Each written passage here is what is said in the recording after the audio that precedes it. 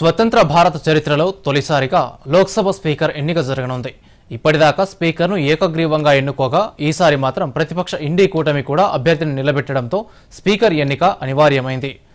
Lok Sabha speaker ఎన్నికకు సంబంధించి మరిన్ని వివరాలు చూద్దాం. లోక్సభ స్పీకర్ ఎవరనే దానిపై ఉత్కంఠ కొనసాగుతూనే ఉంది. ఎప్పటిలాగే సభాపతి పదవిని ఏకగ్రీవం చేసేందుకు ఎన్డీఏ ప్రభుత్వం ప్రయత్నించినా విపక్షాలతో ఏకాభిప్రాయం కుదరలేదు. డిప్యూటీ స్పీకర్ పదవి దక్కకపోవడంతో సభాపతి స్థానానికి ఇండీ కూటమి పోటీ పడుతోంది. దీంతో స్వతంత్ర భారత చరిత్రలో తొలిసారి స్పీకర్ పదవికి ఎన్నిక జరగనుంది. ఈ స్థానం కోసం ఎన్డీఏ తరపున ఓం బిర్లా నామినేషన్ వేయగా ఇండీ కూటమి నుంచి కాంగ్రెస్ ఎంపీ కె. సురేష్ బరిలో నిలిచారు.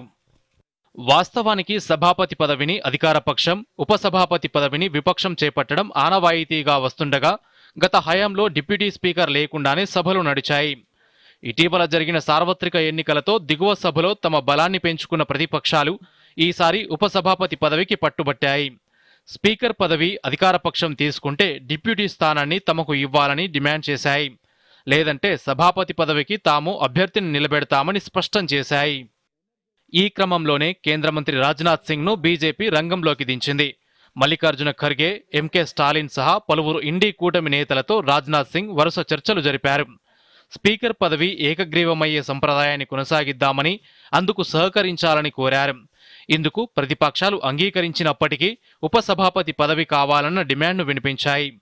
కానీ దీనికి ఎన్డీఏ సర్కార్ సమ్మతించలేదు. దీంతో ప్రతిపక్షాలు పోటీకి దిగాయి. నామినేషన్ గడువు ముగియడానికి కేవలం కొన్ని నిమిషాల ముందు ఎన్డీఏ ఇండీ కూటమి అభ్యర్థులు తమ పత్రాలను సమర్పించారు. ఫలితంగా స్పీకర్ పదవికి ఎన్నిక అనివార్యమైంది. జూన్ ఇరవై ఆరున అంటే రేపు స్పీకర్ ఎన్నిక జరగనుంది. స్వాతంత్రానికి పూర్వం పంతొమ్మిది వందల ఇరవై ఐదు ఆగస్టు ఇరవై నాలుగున అప్పటి సెంట్రల్ లెజిస్లేటివ్ అసెంబ్లీకి ఎన్నికలు నిర్వహించారు.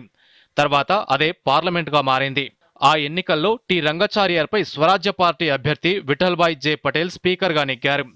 కేవలం రెండు ఓట్ల తేడాతో విజయం సాధించారు. పంతొమ్మిది వందల ఇరవై ఐదు నుంచి పంతొమ్మిది వందల నలభై ఆరు మధ్య ఆరుసార్లు సభాపతి పదవికి ఎన్నికలు అవసరమయ్యాయి. చిట్ట చివరిగా పంతొమ్మిది వందల నలభై ఆరులో ఎన్నికైన కాంగ్రెస్ నేత జీవి మౌలాంకర్ ఆ తర్వాత తాత్కాలిక పార్లమెంట్కు కూడా స్పీకర్గా కొన్నాళ్ళు కొనసాగారు. పంతొమ్మిది వందల యాభై రెండులో తొలి సార్వత్రిక ఎన్నికల తర్వాత లోక్సభ రాజ్యసభలు ఏర్పాటయ్యాయి. పంతొమ్మిది వందల యాభై ఆరులో మౌలాంకర్ మరణంతో ఉపసభాపతిగా ఉన్న అయ్యంగర్ స్పీకర్ అయ్యారు. ఆ తర్వాత పంతొమ్మిది వందల యాభై ఏడులో రెండో సాధారణ ఎన్నికల తర్వాత కూడా స్పీకర్గా కొనసాగారు. అలా స్వాతంత్రం వచ్చినప్పటి నుంచి లోక్సభ స్పీకర్ ఎన్నిక ఏకాభిప్రాయంతోనే జరుగుతోంది. M A Ayyangar G S Dhillon Balram Jakhar G M C Balayogi వరుసగా రెండు విడతలు ఈ పదవికి ఎన్నికయ్యారు. ఈసారి కూడా ఓం బిర్లా ఎన్నిక ఏకగ్రీవమేననుకున్నారు. అనూహ్యంగా ఇండీ కూటమి నుంచి ఎంపీ సురేష్ పోటీలో నిలవడంతో స్పీకర్ ఎన్నిక అనివార్యమైంది. Bureau report Doordarshan news. స్పీకర్ల ఎంపికపై తాము అన్ని రాజకీయ పార్టీల సభాపక్ష నేతలతో సంప్రదింపులు జరిపామని పార్లమెంటరీ వ్యవహారాల శాఖ మంత్రి కిరణ్ రిజిజు తెలిపారు. లోక్సభ స్పీకర్ పదవి అనేది పార్టీకి సంబంధించింది కాదని ఇది సభా నిర్వహణకు సంబంధించిన అంశమని మంత్రి పేర్కొన్నారు.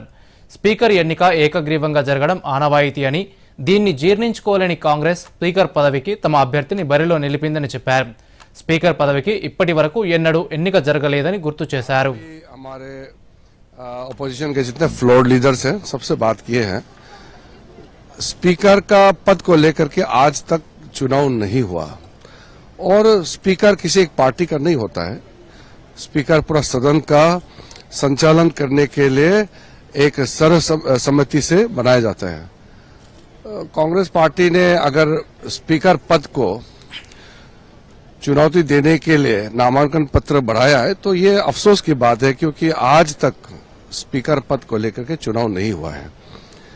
और जब बात किया, कांग्रेस के नेता आए थे और माननीय राजनाथ सिंह जी, माननीय गृह मंत्री अमित शाह जी और एनडीए के सारे लीडर्स, हम लोग सब थे, वहाँ कांग्रेस के नेता ने आकर के कंडीशन लगाया कि आप डिप्टी स्पीकर पोस्ट देने से तब हम स्पीकर को समर्थन करेंगे।